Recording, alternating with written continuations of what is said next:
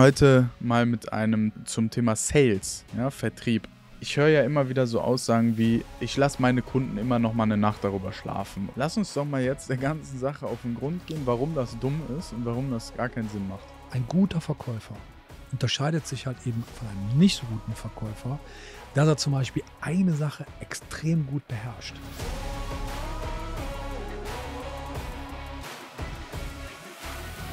Herzlich willkommen zur nächsten Evolution Podcast Folge.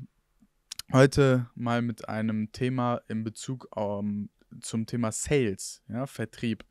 Ähm, ich habe eine Aussage mitgebracht, ja, ähm, und diese Aussage ist für mich eine sehr, sehr wichtige Aussage und eine Aussage, die jeder kennen sollte, aber nicht jeder kennt. Und zwar folgende. Man verliert einen Auftrag oder einen Sale nie an ein besseres Produkt oder an eine bessere Dienstleistung, sondern immer an einen besseren Verkäufer. Auf jeden Fall. Was ist, was ist deine Meinung zu dieser Aussage? Auf jeden Fall. Ist auf jeden Fall der Punkt. Weil das Ding ist ja, man müsste, muss, müsste mal ergründen, oder nicht müsste, sondern man muss ergründen, was sind denn die Hintergründe? Weil das hat natürlich auch wieder vielfältige Gründe, aber der Punkt ist, dass natürlich definitiv der andere Verkäufer oder andere Makler jetzt in dem Fall einfach smarter vorgegangen ist, dass der den Kunden besser abgeholt hat, ja. dass er ihm einfach mehr Verstehen gegeben hat, dass er nachvollziehen kann, was ist das Angebot, was bekommt er und was erhofft er sich dadurch. Ja. Ne? Also ich habe da, also safe, ich habe da einen wichtigen Punkt, äh, warum ich das auch heute anspreche, ist folgendes. Jeder Selbstständige, ich sage nicht, ich sage bewusst nicht nur Makler, sondern jeder Selbstständige oder Unternehmer, was auch immer, muss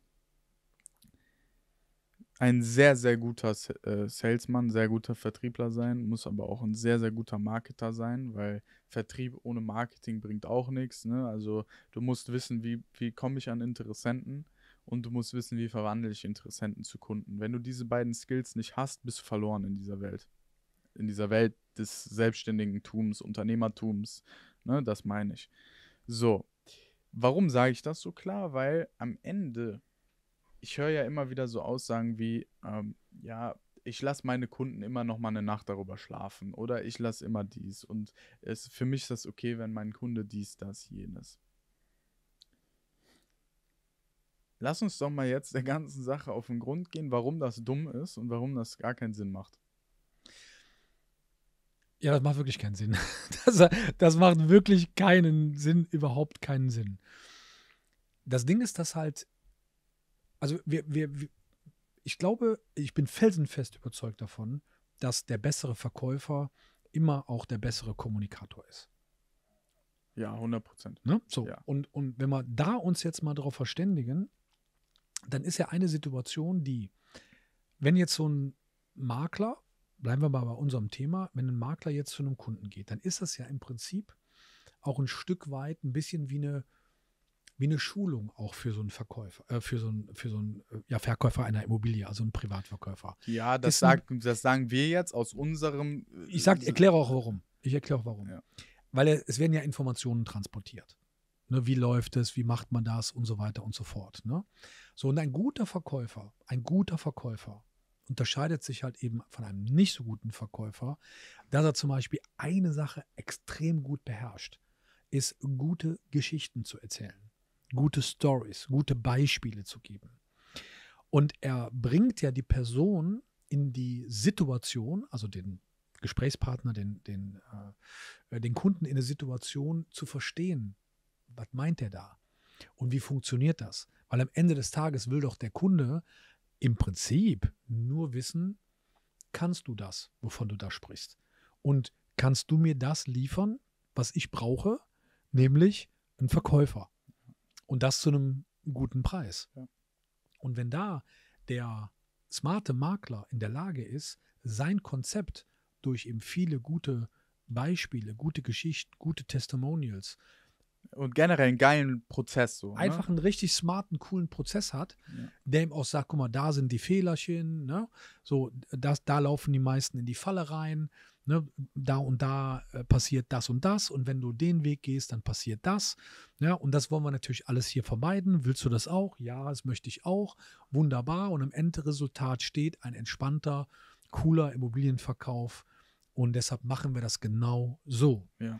Da sind wir nämlich bei einem weiteren wichtigen Punkt, ist, dass die Leute, also die, die Verkäufer oder möchte gern Verkäufer, viel zu sehr, also ich würde mal fast sagen, devot, unterwürfig sind.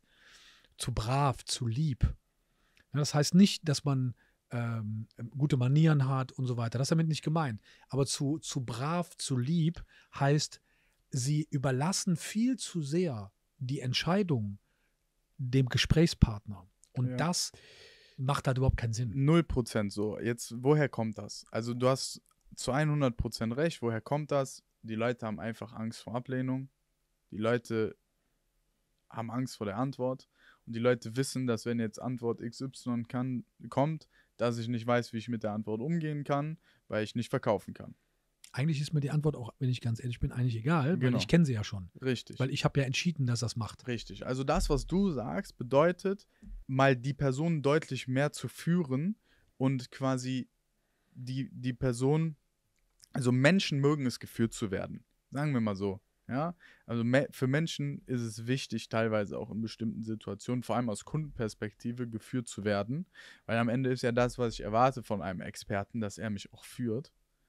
Und vor allem ist es ja so, die, Komfort, die Komfortzone eines Menschen oder die Angstzone, vor allem dann, wenn man eben vor neuen Entscheidungen trifft, ist ja so groß. Denkt, denkt mal einfach an euch selber, wenn es darum geht, dass ihr jetzt ins Fitnessstudio geht. Oder alle, die rauchen. Oder alle, die nicht ins Fitnessstudio gehen hört doch mal genau jetzt, wo, ich, wo ihr diesen Podcast hört. Und ich sage, hör mal jetzt auf zu rauchen. Mach's doch mal. Hör doch einfach mal auf zu rauchen. Oder geh doch jetzt einfach mal ins Gym. Nicht am Montag, jetzt. Genau das gleiche haben ja die Verkäufer auch. Das heißt, wenn du jetzt diesen Personen die Zeit lässt, darüber nachzudenken, oder die Zeit lässt, ähm, was auch immer was zu tun, dann wird es nicht passieren. Absolut. Zumindest zum großen, zu einer großen, zu einem großen zu, äh, Prozentsatz, ja, wird es nicht passieren, weil Leute brauchen Hilfe, externe Hilfe, um überhaupt aus dieser Komfortzone rauszukommen. Auf jeden Fall. Ich, ich würde aber noch ein paar Schritte vorgehen. Also ich sagte ja, weil ich, ich kann so dieses Einwand, Vorwand ähm, und okay, das muss man vielleicht irgendwie so ein bisschen framen, damit es die Leute besser verstehen. Aber ganz ehrlich gesagt ist es ja nicht, ist ja nur die halbe Wahrheit. Das ist nur die halbe Wahrheit. Das Ding ist, wenn jemand, und ich sage mal, es ist eine Bedenken, es ist eine Frage, was die Person hat. Und zwar immer begründet, immer, immer und immer, immer begründet, weil sie irgendetwas nicht wirklich erfasst hat, nicht wirklich was, irgendwas nicht verstanden hat oder ihr irgendwie einfach Hintergrund fehlt, das zu checken, was der andere ihm da gerade erzählt. Ja. So. Und das Ding ist, wenn ich als Makler nicht in der Lage bin, zu sehen, wenn du vor mir sitzt und irgendwie, ich sag jetzt mal so, schon die Augen verdrehst äh, und ich einfach nicht checke, dass du mir vielleicht gar nicht zuhörst oder vielleicht nicht gar nicht da bist oder ich dich eigentlich schon übergeredet habe, also überbelabert habe und du einfach schon gar nicht mehr, schon lange nicht mehr folgen kannst, dann ähm, hat der Verkäufer nicht nur ein Problem, dass er nicht verkaufen kann, sondern hat der Verkäufer auch das Problem, dass er einfach keine Wahrnehmung hat für den Menschen, der einem gegenüber sitzt und viel zu sehr mit sich selber beschäftigt ist. Also der hat sein System, seinen Prozess, wenn er denn überhaupt einen hat, nicht im Griff. Das Thema Wahrnehmung ist ja jetzt immer auch ein, Riesen, also ein Riesenpunkt, weil die Eigenwahrnehmung und Selbstwahrnehmung ist ja sowieso oftmals eine sehr große Diskrepanz. Ich sag mal, ich will gar nicht so tief da einsteigen. Ja, aber es ist trotzdem ein wichtiger Punkt, ja. Man muss mal, man muss mal selber eigentlich hingehen und äh, sich selber mal so, so ein Gespräch aufzeichnen und sich das dann nachher mal angucken, um selber mal zu merken, wie falsch man eigentlich in manchen Situationen handelt. Also ich glaube, wenn man in Deutschland wirklich einmal sich Gespräche anhören würde und man würde die mal analysieren, ich glaube, da würde ich, glaube ich, eher ein Schleudertrauma kriegen ja, 100 als irgendwas anderes. Ja. ja. Also Ich, also, wo Also Leute, ich, bei manchen Leuten frage ich mich, wie können die überleben? Ich frage mich, wie können die überleben? Ich- also ich ich, auch, will das ja. jetzt, das hört sich jetzt so von oben herab an, aber es ist halt wirklich so, wenn ich, wenn ich mich manchmal unterhalte, wo ich mir denke, hä, das kann doch nicht sein. Wie, wie funktioniert das? So, Ja, okay, auch ein blindes Huhn findet man Korn, alles schön und gut, aber am Ende geht es ja um Statistik. Ja, Absolut, aber es geht auch, eine wichtige Sache ist halt einfach dieses Thema Training. Ne? Also Tra Training ist ja eine ganz wichtige Grundlage dafür, um überhaupt besser zu werden. Ne? 100 Prozent, ja. Und aber um nochmal zum Thema zu bleiben, ich, weißt du, das Ding ist, wenn mir jemand eine Frage stellt oder zum Beispiel die Aussage tätig, ja, ich, ich habe noch andere Gespräche, ähm, ich muss mir das nochmal überlegen. Ja, so, das ist ja die Aussage. Und das Ding ist, die, die Ehrlichkeit fehlt an der Stelle. Die Ehrlichkeit sich selbst gegenüber, dass Mak Makler selbst das auch noch glauben. Also glauben, dass das richtig ist, was der Verkäufer sagt. Und es ist halt grundlegend falsch. Ähm, was der Verkäufer sagt, ist aus seiner Perspektive natürlich vollkommen richtig, weil irgendwas hat er nicht verstanden. Ja, aber Irgendwas das ist nicht der angekommen. Grund dafür, warum er es Genau. nicht, warum er es nicht jetzt entscheiden möchte. Am Ende geht es ja Genau. nur darum, dem Menschen zu helfen, eine Entscheidung zu treffen. Ja. Das ist das auch, was ich meine mit Komfort- und Angstzone. Er, ihm muss geholfen werden, jetzt eine Entscheidung treffen zu können. So, und darüber nachzudenken, ist halt nicht die Wahrheit. Das ist ja nicht der Grund, warum er es nicht kann. Ja, so, muss, weil Mhm. Da ändert sich Ja, ja, nichts. Da Ja? muss ich aber auch den richtigen, den richtigen Purpose dahinter haben, das richtige Warum. Weil wenn ich jetzt nur da sitze, um Kohle zu verdienen, ja, dann steuere ich natürlich anders an, als wenn ich sage, ich sitze da, weil ich dem helfen will, der Person. Helfen will, dass er den richtigen Makler bekommt, ne, dass die Vermarktung super funktioniert, dass die Immobilie tiptop äh, mit dem bestmöglichen Ergebnis verkauft wird. So, jetzt kann vielleicht der ein oder andere sagen, ja, erzähl mal nicht, du willst ja auch, auch Geld verdienen. Ja, will ich Geld verdienen, keine Frage. Aber es ist ein Ergebnis. Aber das ist ein Ergebnis, genau, das ist ein Ergebnis aus einer guten Arbeit, die ich mache. Aber die Frage ist, warum mache ich die Arbeit? Ja, weil ich Bock habe, anderen Menschen zu helfen und vor allen Dingen, weil ich keine Lust habe, dass er bei irgendeinem Holzkopf landet und die, die Wahrscheinlichkeit liegt bei 90 Prozent, dass er bei einem Volldeppen landet, der es nicht kann und ich der Einzige bin, der ihn retten kann an der Ja, Stelle ja. jetzt. Ja, und Ist- das sehe ich so. Ja, 100 Prozent. Ich meine, das ist ja das Thema, wir haben ja davor jetzt noch eine andere Folge aufgenommen, das äh, greift ja jetzt ineinander.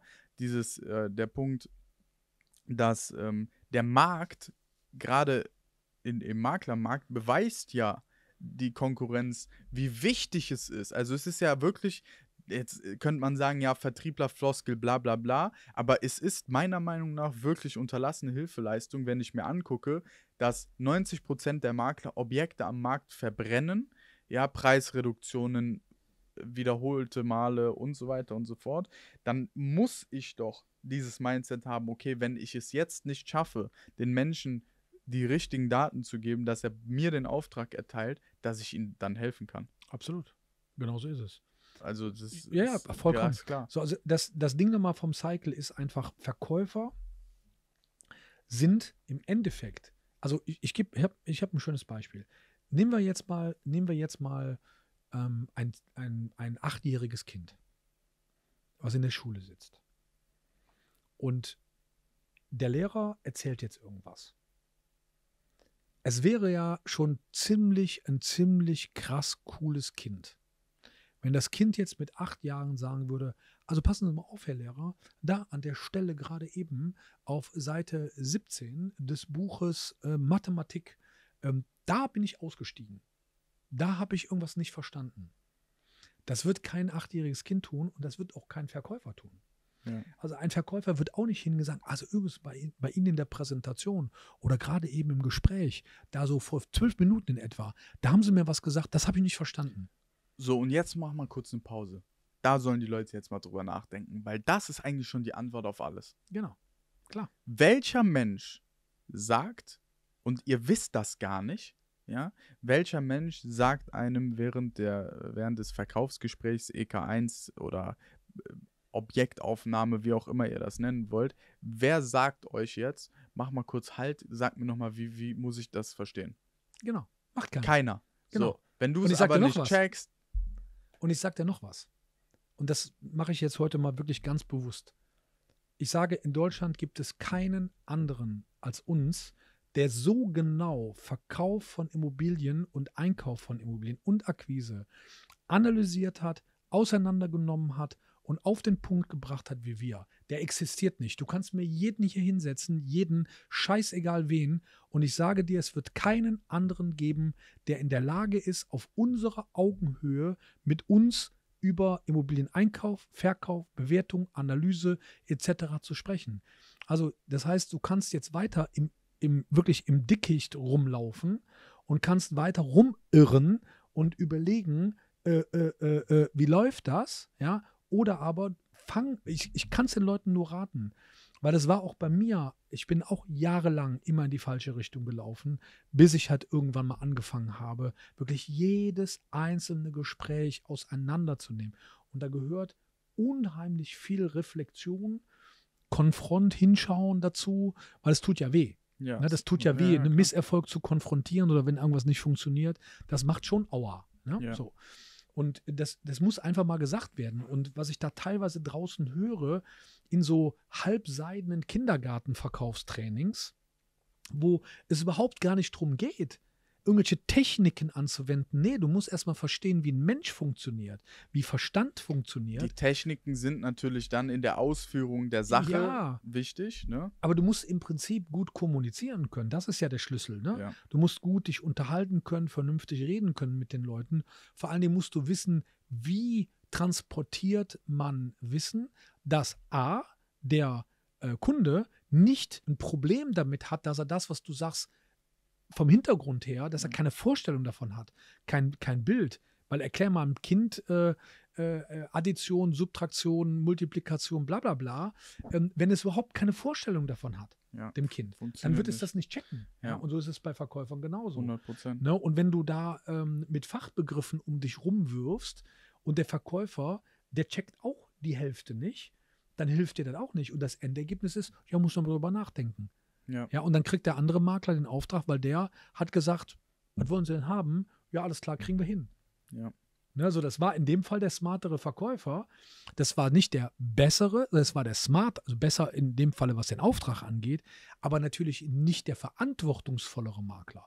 Aber darum geht es in dem Moment auch gar nicht. Ja. ja, weil es geht ja erstmal darum, für den Verkäufer, er will denjenigen finden, wo er glaubt, wo er glaubt. Und das ist das Ding. Also musst du schon, wenn du bei den, wenn du das Spiel spielen willst und gegen die anderen gewinnen willst, dann musst du natürlich die Verantwortung nach wie vor hochhalten, aber du musst auch mit den äh, ganzen kleinen Ratten da draußen, die eben diese, sagen wir mal, nicht ganz verantwortungsvollen Strategien anwenden, bestehen können. Ja, auch Lügen und so weiter. Ja. Aber auf jeden Fall, das sind alles sehr, sehr wichtige Punkte ich würde sagen, damit belassen wir es auch dabei. Also sei dir einfach bewusst, du hast eine Verantwortung und du musst den Leuten als, als guter Vertreter, oder anders gesagt, du hast gar keine Wahl, du musst richtig gut verkaufen können, du musst richtig gut im Marketing werden, du kannst es bei uns lernen, nicht nur einfach zu verstehen, wie funktionieren Menschen überhaupt zu kommunizieren, sondern dann natürlich auch die richtigen Techniken, das umzusetzen in der Praxis, ähm,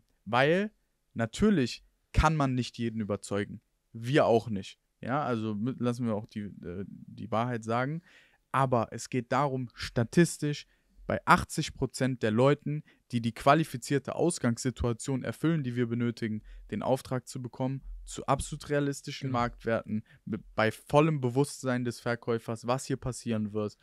Und dann macht es auch Spaß. Und last but not least, du brauchst als Makler keine Hilfe. Ich sage das auch ganz offen. Du brauchst keine Hilfe wenn du die Entscheidung getroffen hast, dass du das Spiel, und es ist das verantwortungslose Spiel, den Verkäufern den Glauben zu lassen, eben, dass ihr Preis, ihr Wunschpreis äh, richtig ist und dass das funktioniert. Wenn man das Spiel spielen will, dann spiel das weiter, da brauchst du keine Hilfe.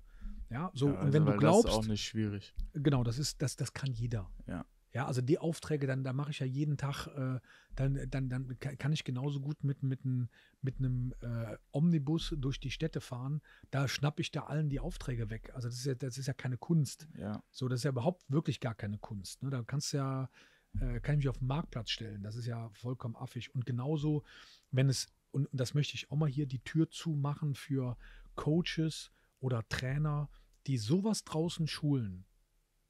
Ja, die sowas draußen schulen. Also Leute, ganz ehrlich, das kann es einfach nicht sein. Also wer Leuten, ähm, ich sag mal, verantwortungslose Betrügertricks beibringt, ja, also sorry, das, das kann es nicht sein. Das kann es nicht sein. Und das, ihr müsst wach werden da draußen. Das ist wirklich wichtig. Ihr müsst echt wach werden und hinschauen, ja, weil Können hat auch immer was eben mit Können, ne? also Wollen kommt vor Können, ne? das ist das Erste.